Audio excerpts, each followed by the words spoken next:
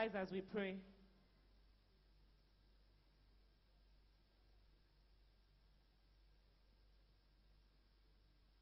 Our Father and our God, we thank you for another day like this. We thank you for the opportunity of being in your presence this morning. We thank you, Lord, because we lay down and slept yesterday night and we woke up this morning because you sustained us. Father, we say, Be thou exalted in the name of Jesus. We thank you for another time like this that you have brought us together to do us good. Father, we ask in everything that we are going to do in the course of this service that your name and yours alone will be glorified. In the mighty name of Jesus. Holy Spirit, have your way. In Jesus' name. Amen. We shall, we'll sing from a Baptist hymn now, hymn 2, Holy, Holy, Holy.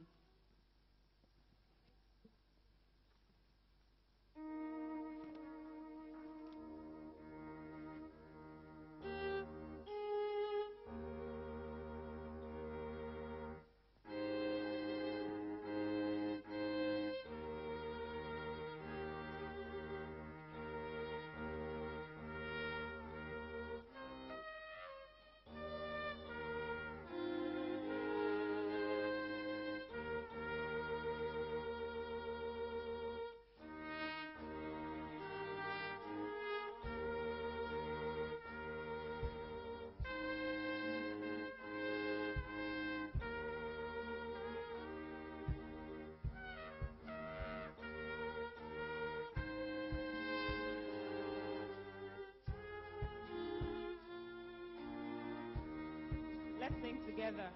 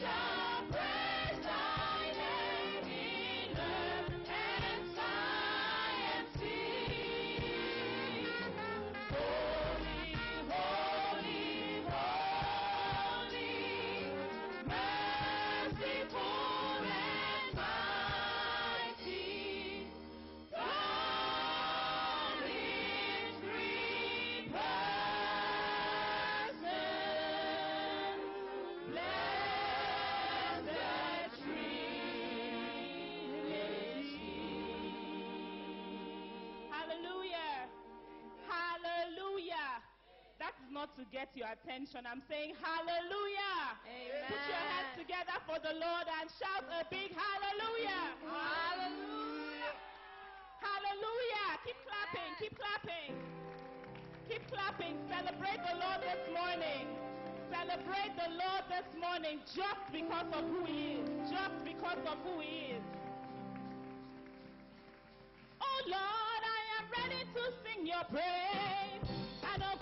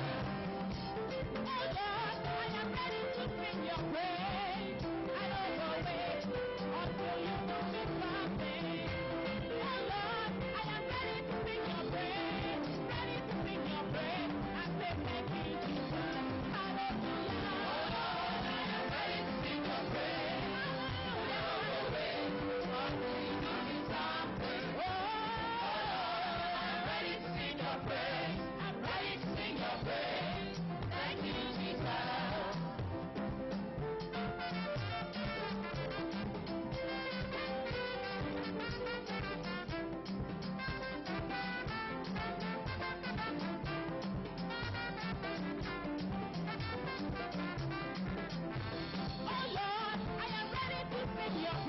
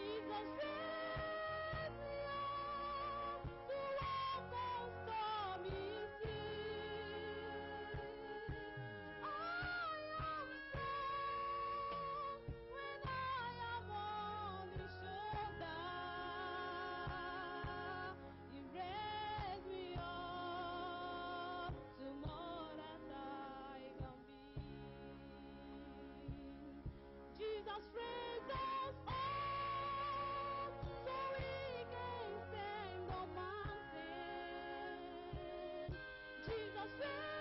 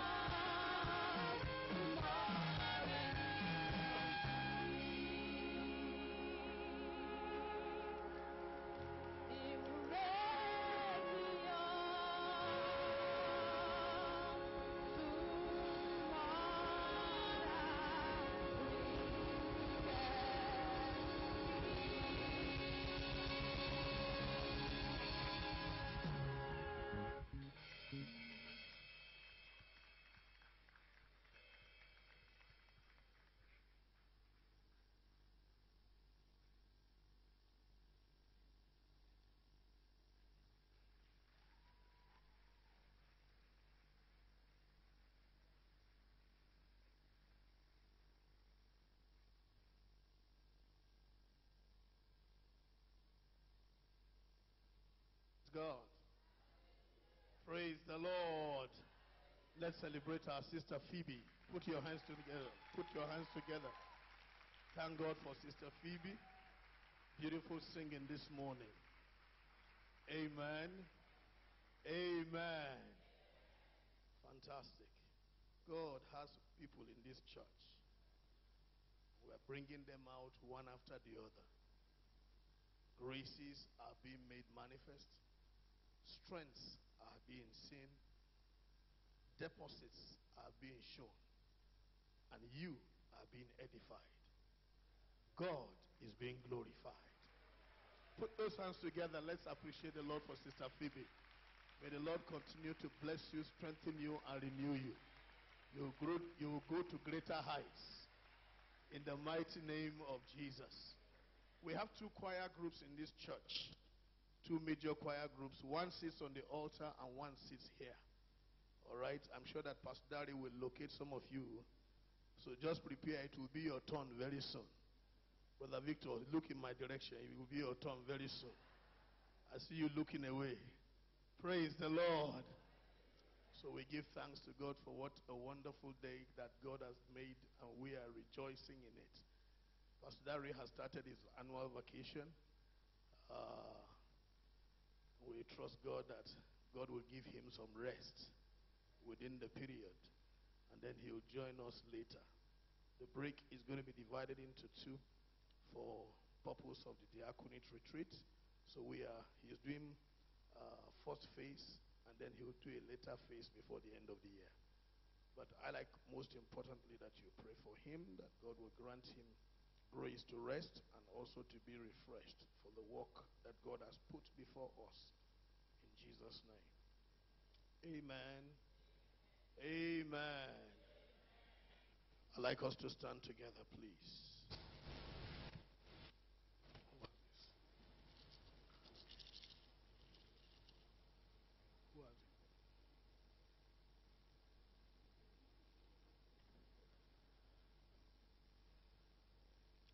Choir will lead us to sing ancient word. It is in your bulletin, so you don't need to go far looking for it. The choir will lead us to sing ancient word, holy word, long preserved. Are we ready?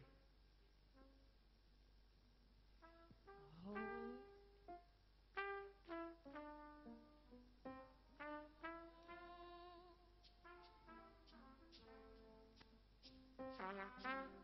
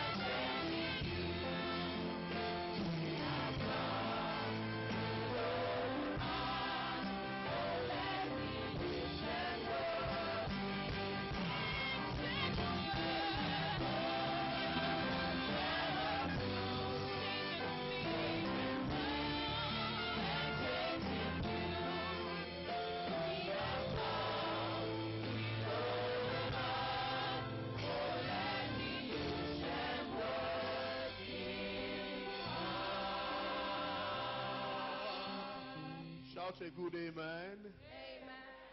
All right, take your bulletin. Let's look at the prophetic word together. I'd like you to speak like a prophet this morning. Speak like a prophet this morning. You will speak to three people, and then you will be the fourth person. Amen. Amen. I'd like you to speak and mean it. Believe what you said. There is great power in prophecy. The word of God says in the book of Second Chronicles, chapter 20, verse 20. He said, If you believe God, you will be established. If you believe also in his prophets, you will prosper. So our prosperity is tied to prophecy. So you are God's prophet this morning. You want to be a channel through which God will bless that person and prosper them. So I want you to minister with understanding that God has tied the prosperity of his people to prophecy. And you are that prophet. Amen. So we want to speak the word of God together. That's why it is called the prophetic word. Let's go. One, two, three. Since the Lord who vindicates you is ever near, no one shall bring a case against you. Can I have a good amen here? Are you speaking it to somebody? Now let's move to the second person now. One, two, go. Since the one who investigates you is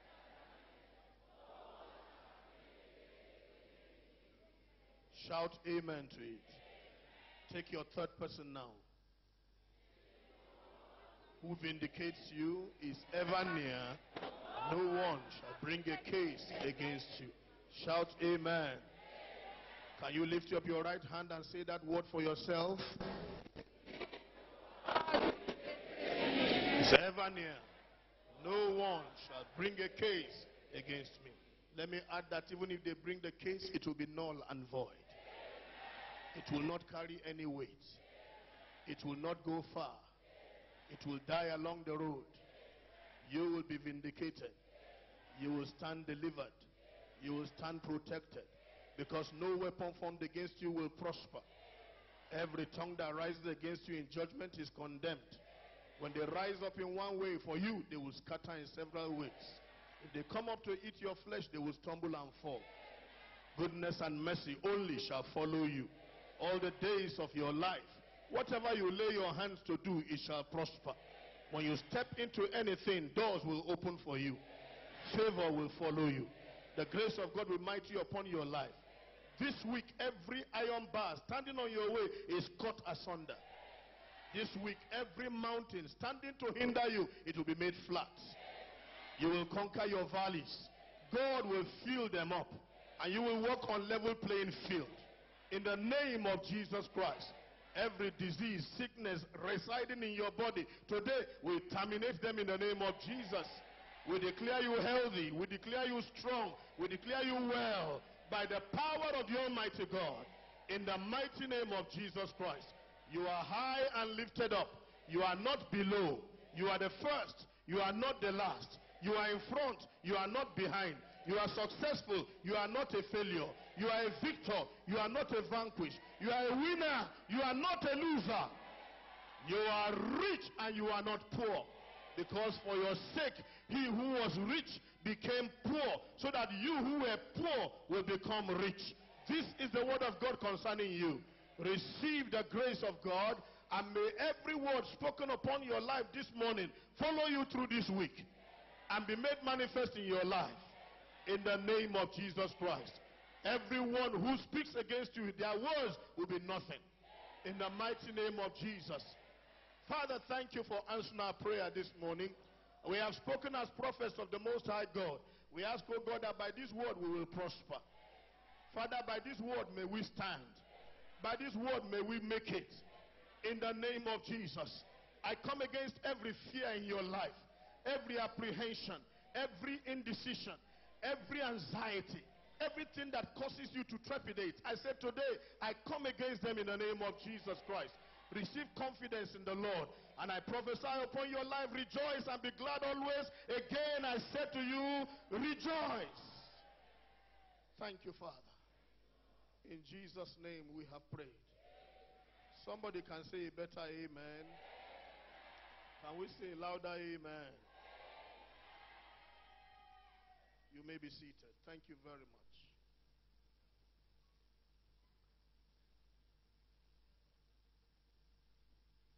Let's go to the scriptures and read the Word of God together.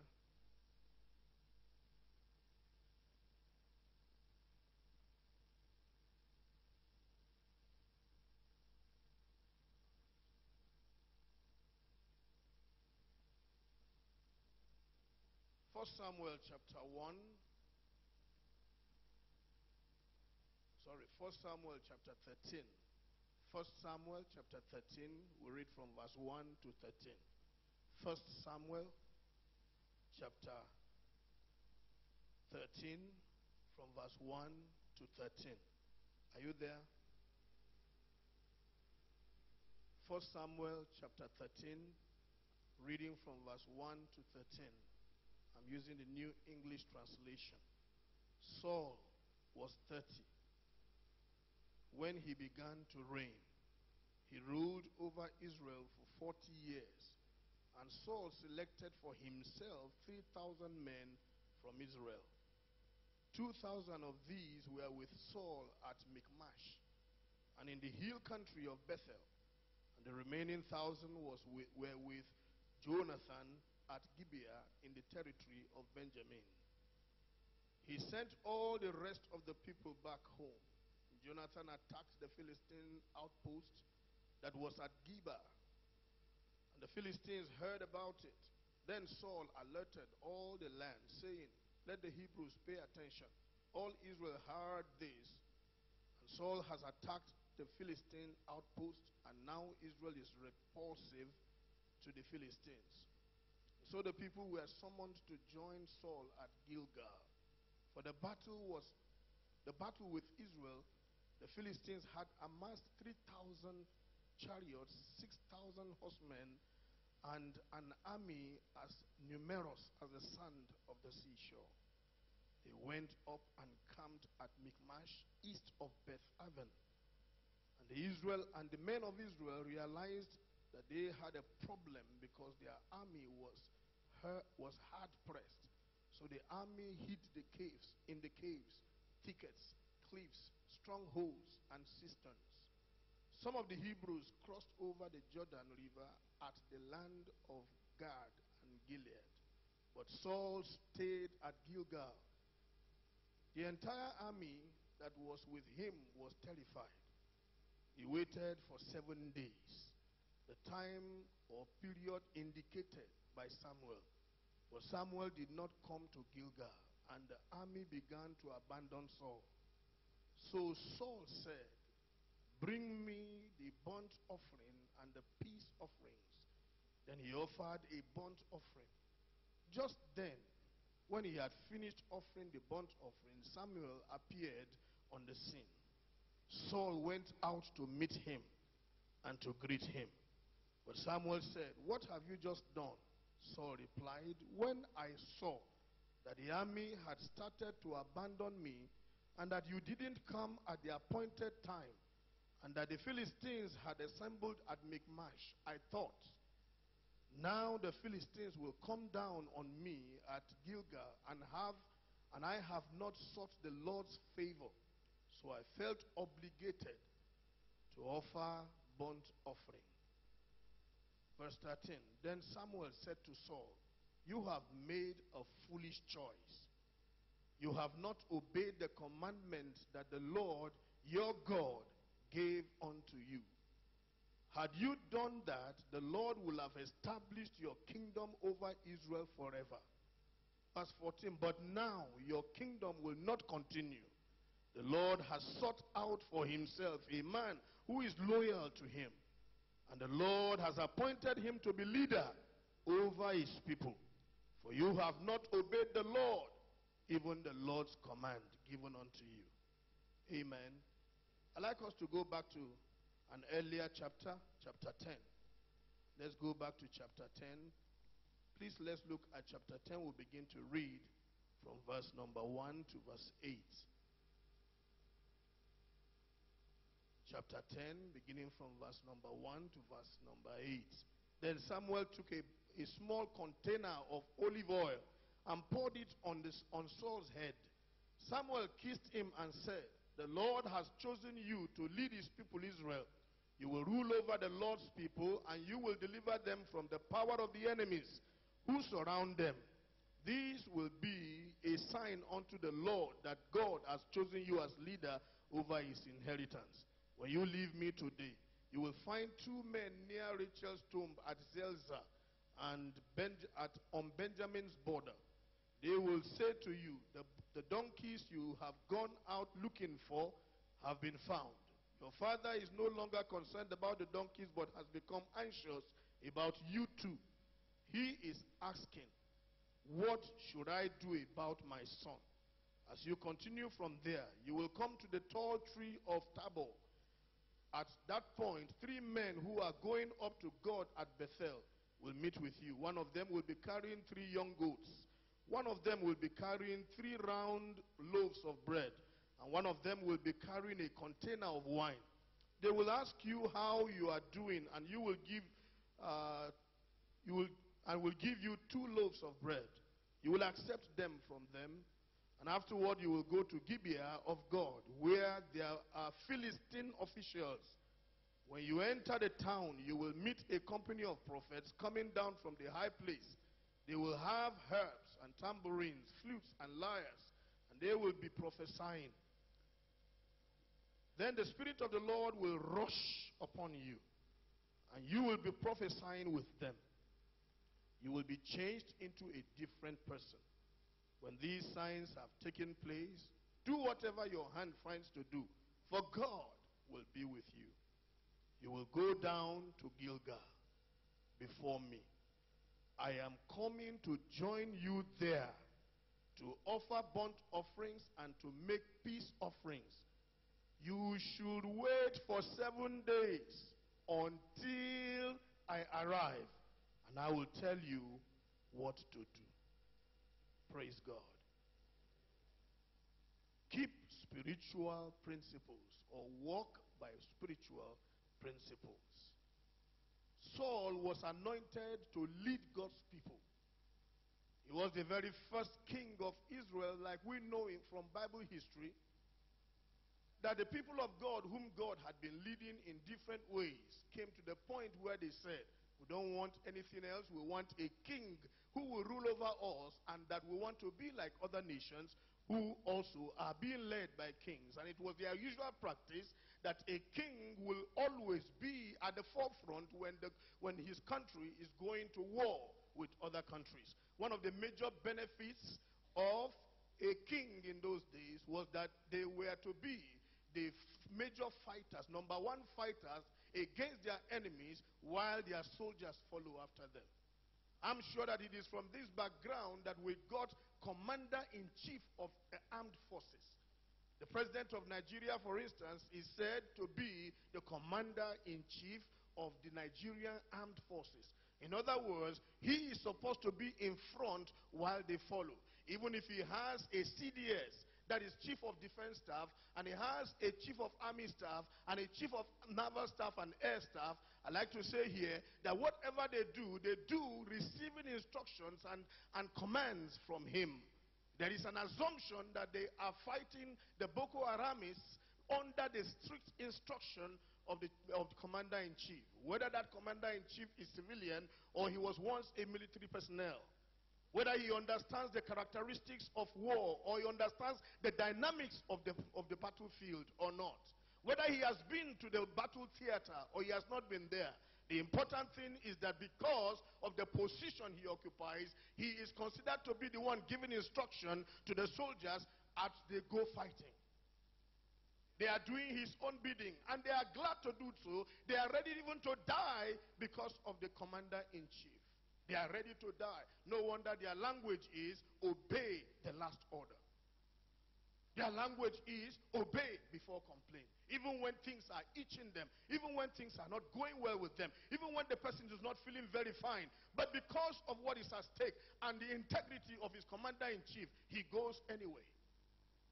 And so uh, Saul was chosen to be king over God's people, and his number one assignment was to always stand and go to war on behalf of his own people. When they demanded for a king, they said, We want to be like other nations. We want someone that will always go in battle ahead of us. So a major contender in those days was the Philistine, uh, uh, the Philistine land or the Philistine people. They were a major enemy of Israel at that time. And so Saul had this task to contend with Philistia. He was there to contend with Philistia and bring to bear the authority of God through his people over Philistia and all other enemies that the land or that the people of Israel, you know, had to contend with. But the Bible tells us that we have, to, I mean, like I said two Sundays ago, you always need to understand your identity. You always need to understand who you are. You also need to understand what is God's purpose for the, for the kind of office that you occupy and what is the nature of that office. Let me say here that the kingship of Israel, even though God approved of it and gave it and or gave them room for, to, for them to have a king, the king of Israel was yet going to operate under the kingship of heaven. He was a kingdom king. The kingdom of God ruled over him. He was supposed to operate by heaven's instruction. Though he may command his soldiers, he should command his soldiers only also under the command of God. No, so because of that, therefore, the, the, his own office was a spiritual office much more than just a military office. It was a spiritual office much more than just a political office. And therefore, no wonder before he will enter into governance, God sent Samuel to go and pick him, and what will he do? Put oil upon his head. That's not the way they commission soldiers or kings in other places. But when it comes to the things of God, the things of God are done differently. The Bible says that the things of God are spiritually discerned.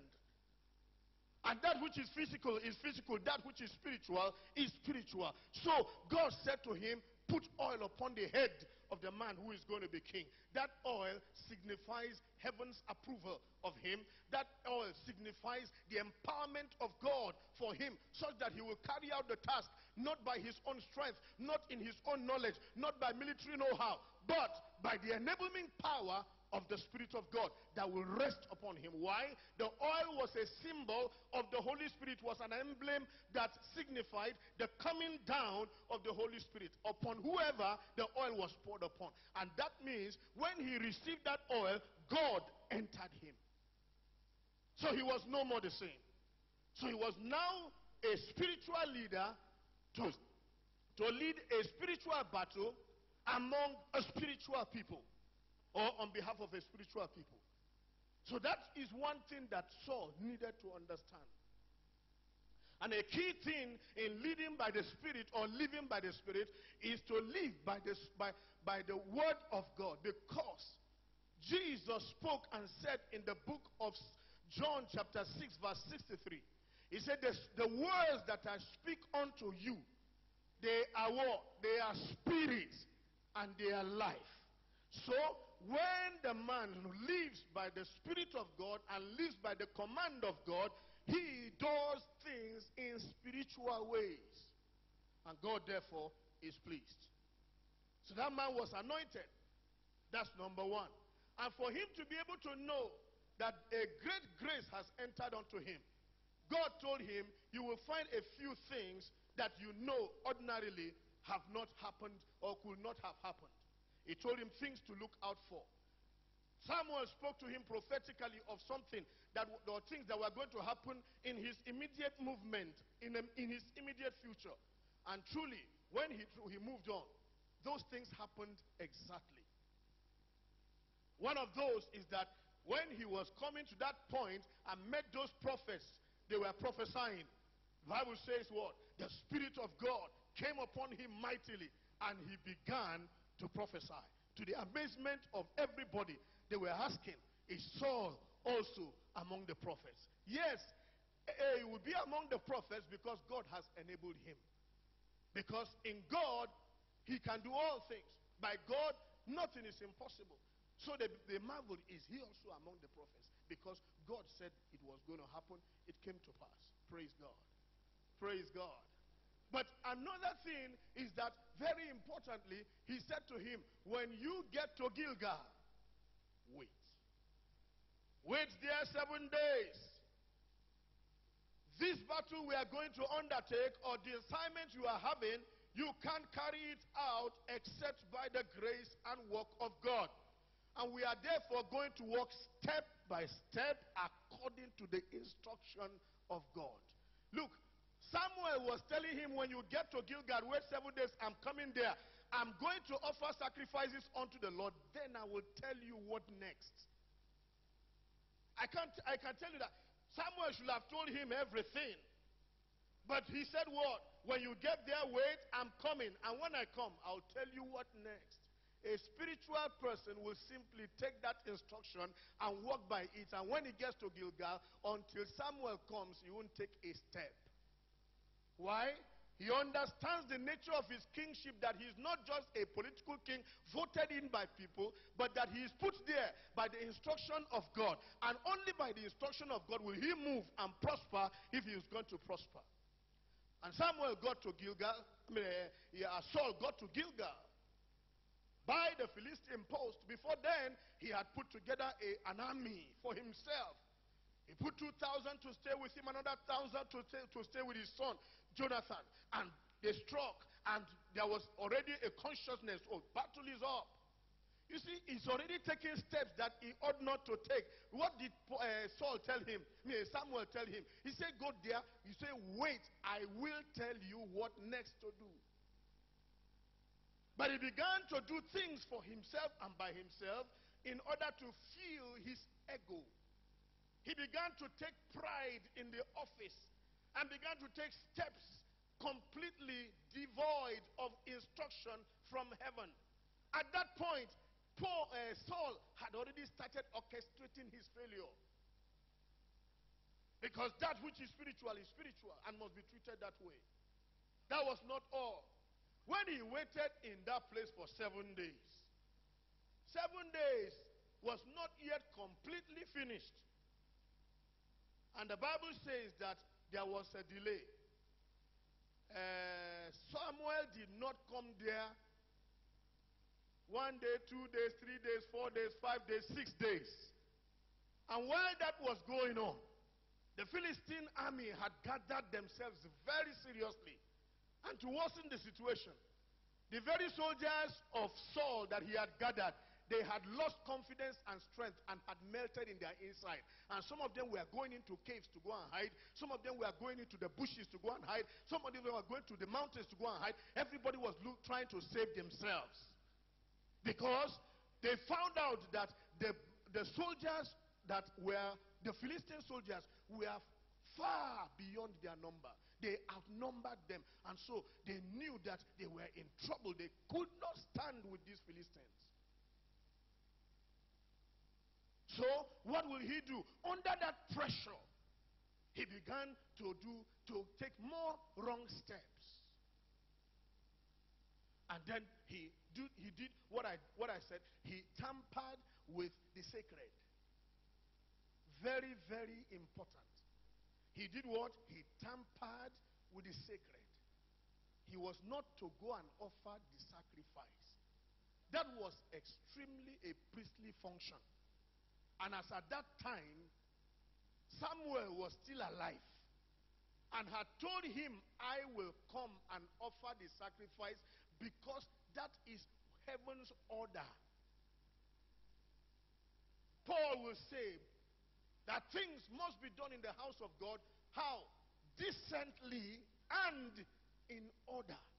The order of heaven that time was not for him to offer sacrifices. It was a priestly function. And if he was going to be a spiritual king that he was supposed to be, he was supposed to respect what I call heavenly order. What I call spiritual order. And do things as they are arranged in heaven. Jesus taught us to pray. He said, When you pray, say, Our Father who art in heaven, hallowed be thy name, thy kingdom come, thy will be done on earth. How? As it is in heaven. That is the, the, the, instruction that he was given. He said to him, Wait. When I come, I'll offer the sacrifice. And when I have finished offering the sacrifice, I'll tell you what next. But when he got there, under pressure, he began to take the wrong steps. And above, the, among the worst, the worst thing he, he did was to do what? To tamper with the sacred. What he was not supposed to do. He affected and changed heavenly or divine order. He quickly entered, said, Give me bread. This Samuel is not forthcoming. I mean, this, yeah, this prophet or this Samuel is not forthcoming. It's the only him that can offer sacrifice. I can also, also offer sacrifice. If we bring it to our own day, is he the only one? I'm also born again. After all, are we not running priesthood of all believers? I can also do it. I can also do it. He defied heavenly order. But you know very well that that was the same way that Miriam felt concerning her brother Moses. She said, Is he the only one that God is talking to? Why? Why would he want to? Why is why? Who is he? Is, I, is he the only one that God is talking to? We too, God talks to us. And God was angry with her. Yes, he is your younger brother. He is younger brother to Aaron. Yes, he is your immediate brother in your family. Yes, but heavenly order. It has not pleased God to choose Aaron. It has not pleased God to choose you. It has pleased God to choose him and his authority. No man can question his integrity. No man can question, and his sovereignty should not be brought to question. Yes, therefore, what do you do? Submit to eternal and heavenly order. You know the result of when, because of that thought and the way she spoke to him, you know the result, what, the consequence that followed.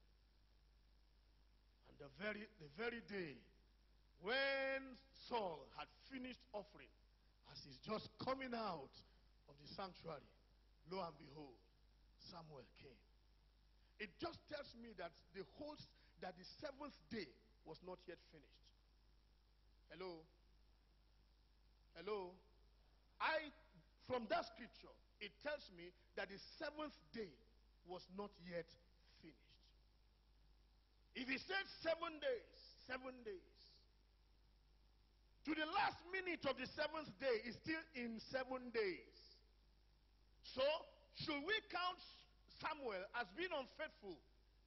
Should we count Samuel as having failed of his, on, on his word? Should we count him as having failed to keep his promise? The answer is no.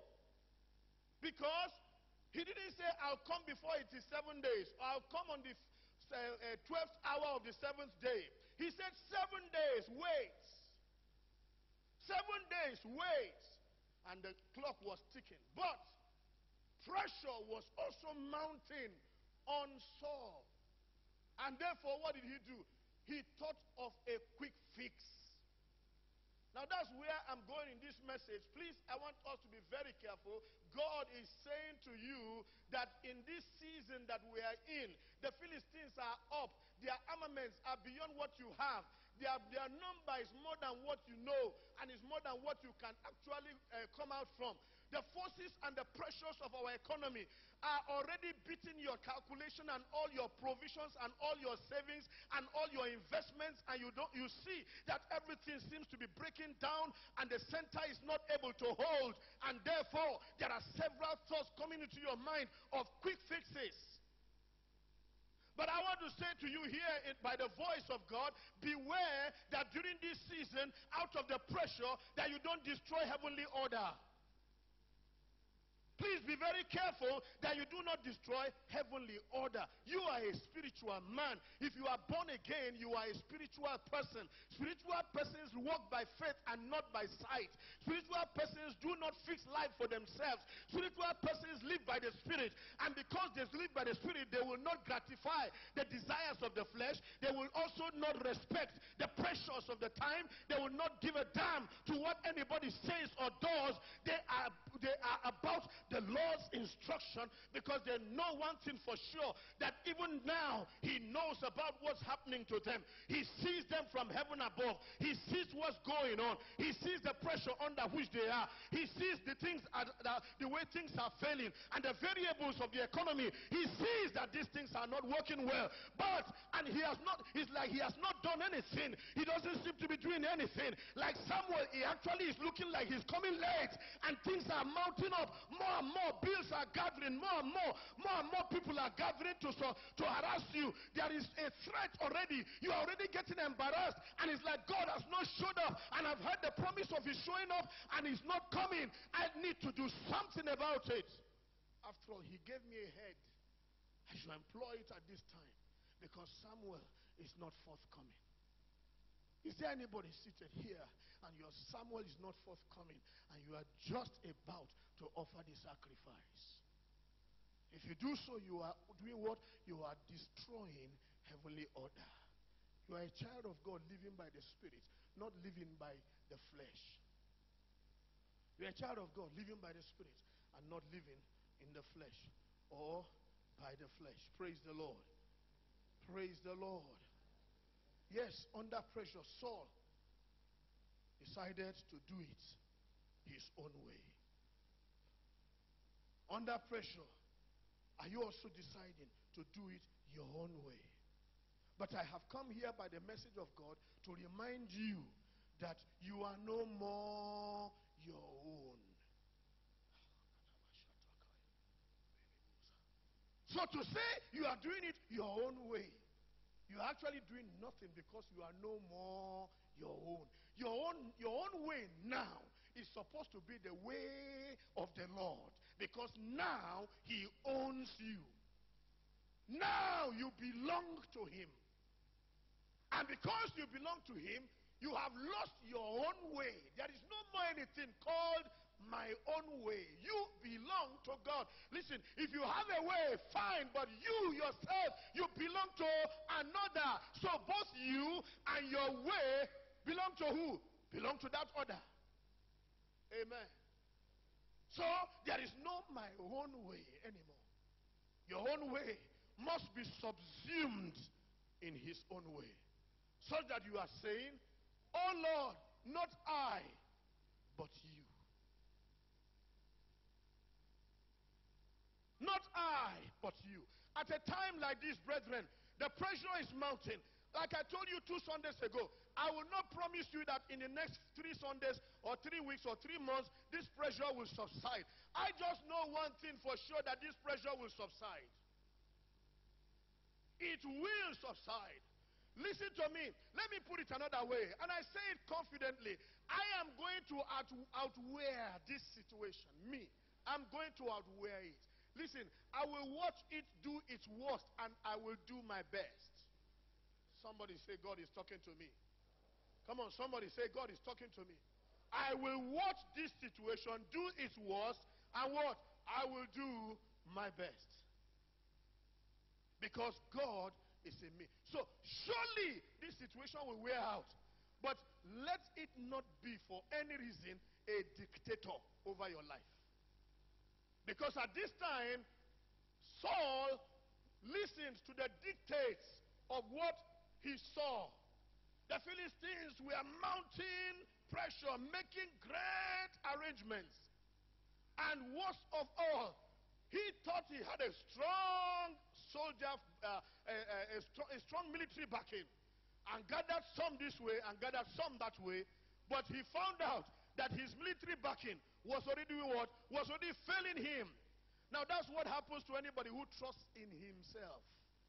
That's the one who, anybody who trusts in the arm of flesh.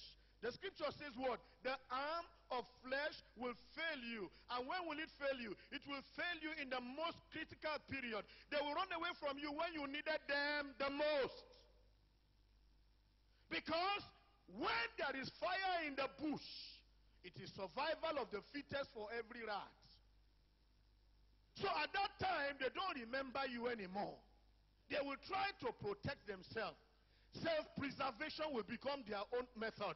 At that time, that's the time you needed them most. They will not be there.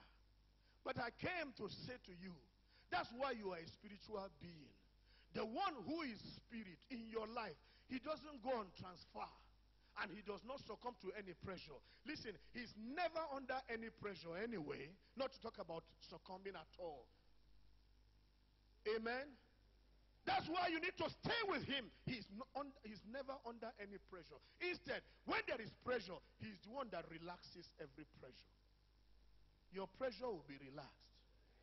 Your trouble will be relaxed. and the grace of God will be upon you. You will see with your own eyes the wearing out of this, this current situation, and the pressure is bringing to your family, and the pressure is bringing to your home, the pressure is bringing to your marriage, all of that will subside. Because I heard him say to the, to the, to the, to the, to the Israelites, he said, The Egyptians you see today, what will happen to them? Did it come to pass? Did, it not, did they not stand physically with their own eye and they watched to the very last person all the Egyptians with their soldiers, what happened to them? They drowned in the water. I say the economic recess we are in now, it will drown in the water. In your very eyes. Can I have an amen here? Can I have an amen here? I'm not saying it's today or tomorrow, but I know it's, where, it's going to wear out. You are going to be older than it. I tell you, a testimony will come from your mouth about this situation. You will be telling younger generations someday what we passed through, and the Lord saw us through. We passed through, the Lord did what? He saw us through. Help me tell your neighbor, God will see you through. God will see you through. Come on, somebody, God will see you through. Before I close this message, I want to call your attention to one very important heavenly order that you must not tamper with under the pressure of the Philistines that are troubling you. I like us to look at scripture, remind ourselves again. We know this scripture very well, but just to remind ourselves again, that scripture is taken from the book of Malachi, chapter 3. Let's read verse 10. Malachi, chapter 3. Read verse 10. Anybody there? Malachi, chapter 3, we read verse 10 heavenly order, divine order, how things ought to be. Come on, somebody. Malachi 3:10. Anybody? Bring you all. How many? Come on, church. Say how many? Go ahead.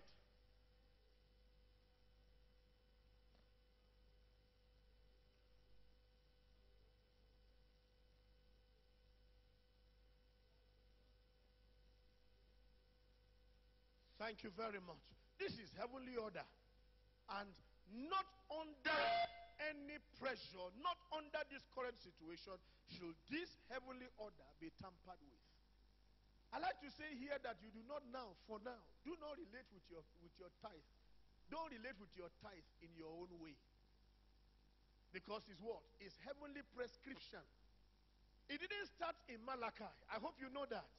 Way back in January, or in, I mean, in Genesis, way back in Genesis, you see Abraham do what? Gave a tithe unto who? Melchizedek. A tenth of all that God had given to him when he was coming back from battle. And you see his own son, when he was, I mean, his own grandson, going on unto Padan Aram when he was when he was at Bethel. He made a promise, Father, if you take me to this place and give me victory and do everything, and I come back, I will worship you here in this place. And in this place, I will give you what? A tenth of all that you give unto me. And from then on and on and on, the institution of the tithe has been has been a heavenly order.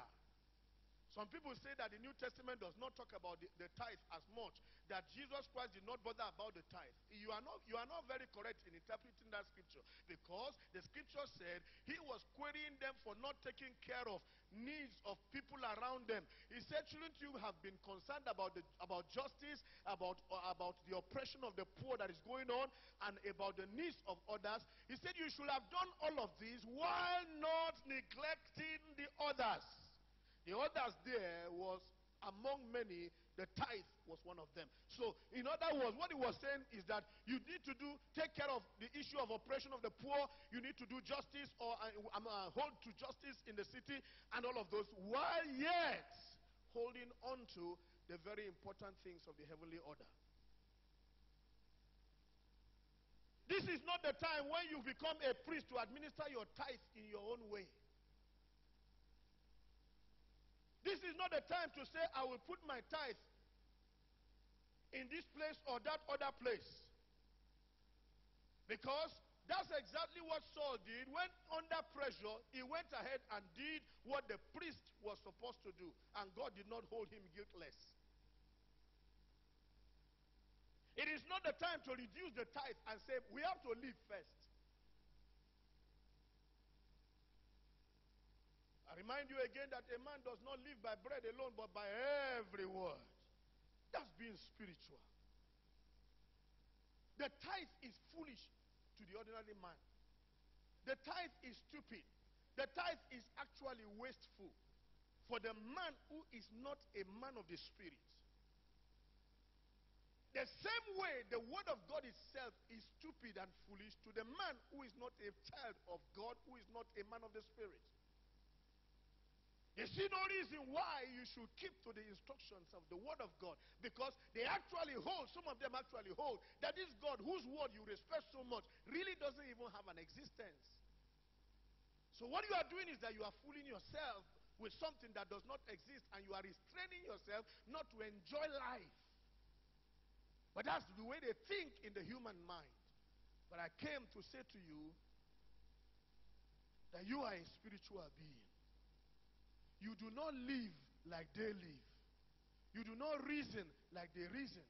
You do not think like they think. And therefore, you must live according to the word of God.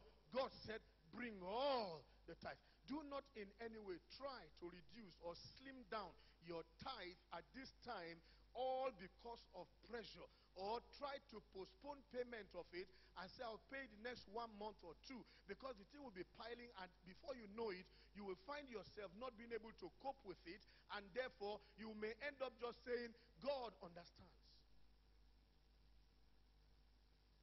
Maybe that's already happening in the house or I, I don't even know Let me remind us that God is not asking you to bring what He has not given to you. Amen. He's a very good God. He's not asking you to go and manufacture what He has not given to you. But if He has given to you, then you are under obligation as a child of God to do what? To stay with the heavenly order. Brethren, at this time, God is asking us to make a conscious determination to live by his word, to live according to his instruction. Again, Samuel said to him, Wait until I come.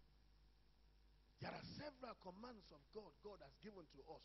Please, this call of this message is calling on you and I to obey the word of God. At this time, I must tell you, obeying the word of God is very inconveniencing. Obeying the word of God is very demanding. Obeying the word of God is actually almost looking unfair. But I did not see anywhere where he gave us conditions under which to obey his word. He was very angry with Saul when he said to him that partial obedience is equal to no obedience. So to do anything half-heartedly now, with regards to your obedience to the word of God, just in the name of the pressure you are going through because of the Philistines that are standing on your neck, I say to you, it's no excuse, church. It's no excuse. Let's keep the sacredness of the Word of God. The Word of God is sacred. Do not tamper with the sacred right now. If you disobey the word of God under any circumstance, under any guise, now you have tampered with what? With the sacred. Ah, Saul tampered with the sacred. He lost big time. And he lost at the very last minute because soon as he came out of his disobedience, the prophet showed up or the priest showed up. And he said, What have you just done? And he gave what he did. He said, You have acted foolishly. You have acted foolishly. May this situation never make you foolish. May this situation never make me foolish. May this situation never make us foolish. Foolish person is the person who ignores the word of God because of one thing or the other, or decides to step out of it for convenience sake. That person is not wise. On the mountain, obey the word of God. In the valley, obey the word of God. Things are very good, obey the word of God. Things do not seem to be very good. Do what?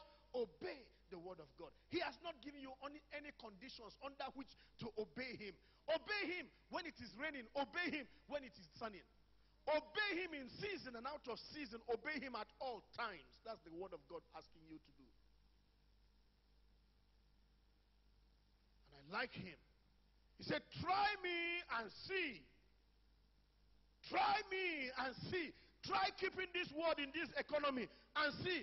Try respecting sacred things, the word of God, and see. Try obeying the commands of God and see. Try paying your tithe and all other sacred obligations. Try and see if I will not open unto you the windows of heaven and pour unto you such an abundance that you do not have room to keep.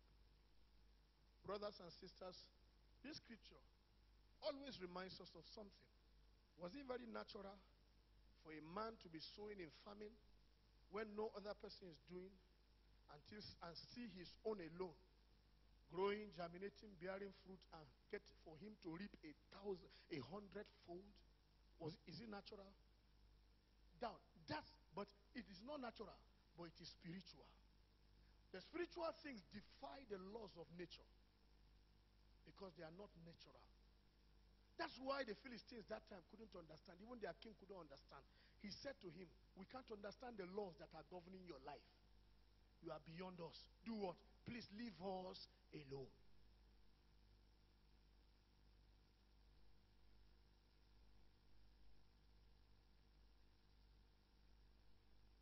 Please, let's walk by the Spirit of God and by the principles of the Spirit. If you are here and you have started doing your own, you, you have started doing things your own way, I'd like to appeal to you. This is an opportunity today to do what? Retrace your steps and begin now to do what is right in spite of what is happening. And the God of heaven will show himself mighty and faithful to you and to your life because he's not a debtor to anybody. This God will not owe you, he will be faithful.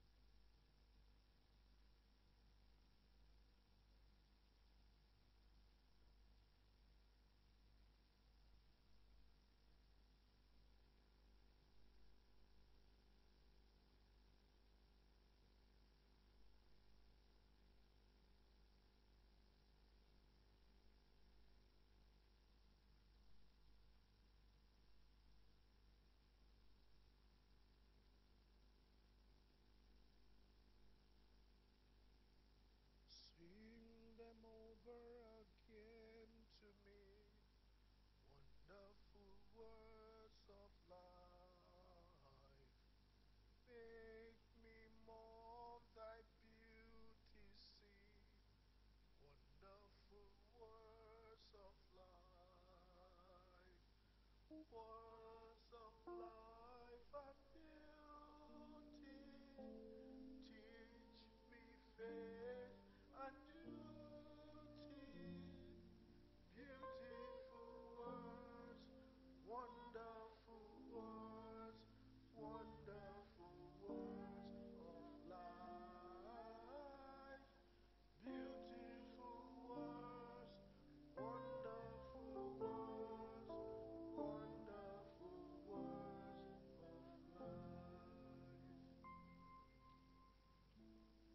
Before we get to the table to share on this table, what are you doing with this word that you have received? With all our heads bowed, our hearts praying, if there's anything you think you need to retrace, are you already in any way tampering with the sacred? When I talk about the sacred, the number one thing that is sacred to us is the word of God. If there's any one of us here that is tampering with the word of God, breaking it, ignoring it, and living deliberately against it on account of pressure, on account of situations. I only gave one example of the tithe, but the word of God is the supreme sacred thing. If for any reason we are breaking that, I like to remind us that we are spiritual beings. We live by the instructions of the Spirit. You want to make amends. You want to retrace your steps do something differently. I like to pray with you. Just stand quietly where you are. And I will pray with you. You are making a resolve in your heart. God, I'm sorry. I have begun to tamper with sacred things. I've done it my own way. I, under pressure, I did it my own way. I tried to resolve it myself. Oh God, have mercy on me. Is there anyone who has held back some tithe? During this pressure period, you have held back some things that you know belong to the Lord that is sacred. You want to say, God, I'm sorry. I'm sorry. I don't want to be a loser because Saul lost. He said, if you had waited just a little, the Lord would have established your kingdom. But now, he has taken it away from you.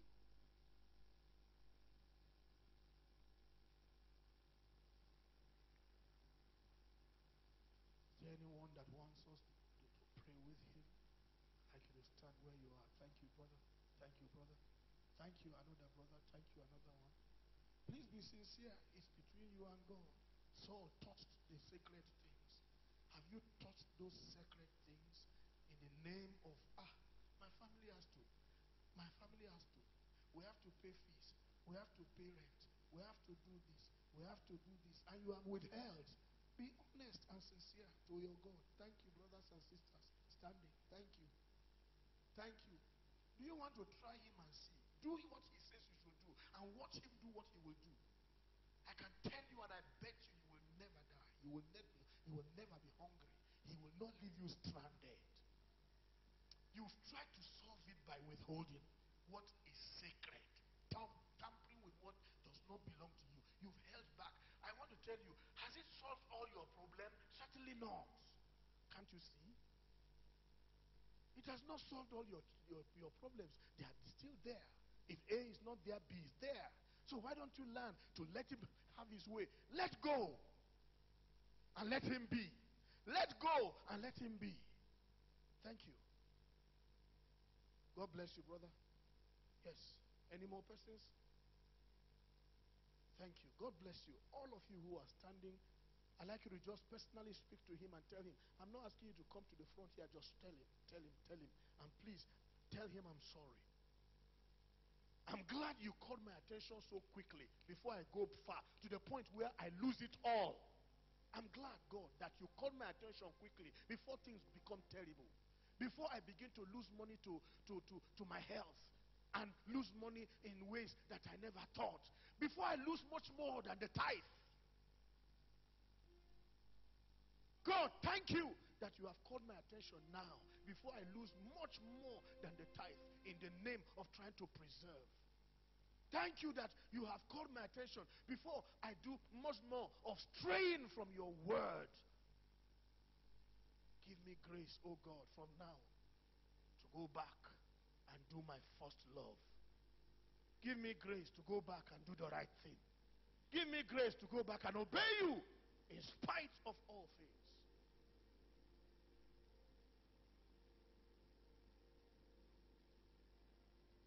Job said he's going to wait.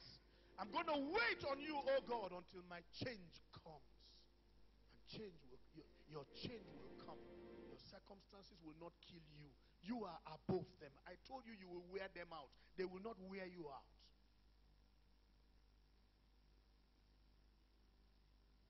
Thank you, Eternal Father, for your word that has gone forth. And thank you for these men and women who are standing, oh God, to acknowledge the fact that one way or the other, they have stepped out of the commands of God and have tampered with, with that which is sacred. Oh God, it's because of your mercy that we are still alive. You will have stricken a man dead. You will have stricken a woman dead for tampering with the sacred. When Uzzah tried even to do what looks good, put his hand to, to, to rescue that, that ark from falling to the ground, he was stricken dead. Because he touched that which was sacred. He, he tampered with that which was sacred. He was stricken dead right there. But we thank you, Lord, that your mercy triumphs over your judgment. And we thank you, O God, because today these ones are standing to acknowledge we need your help. Oh God, our Father, please help us. I'm not speaking only about them, I'm speaking of myself too. I'm saying, God, help us. Areas where we have erred because of the situation we find ourselves, we have allowed the situation to dictate what we do. God, please have mercy on us. You will help us to give to you what belongs to you. Because you will give us what we have not even asked for, much more than we asked for. You will do for us. You will prove yourself mighty. Forgive this ones, oh God, and I pray from, from today. Father, as they begin to obey you and begin to do what is right, Father, I pray that you will return to them in due season and bless them in ways they never thought or imagined. And may they see the veracity and the seriousness and the power of your word in the name of Jesus. I pray that you perform your word in their lives. Blessed is he or she who believes, for there will be a performance of that word which she receives from the mouth of the Lord. Because they have received the word and they have believed it and they are determined to walk in the ways of the Lord according to your word, I pray today, God, perform your word in their lives. In the name of Jesus. Thank you, eternal Father. Help us, oh God, during this season to continue to honor you. This is our prayer in Jesus' name. God bless you. You may be seated.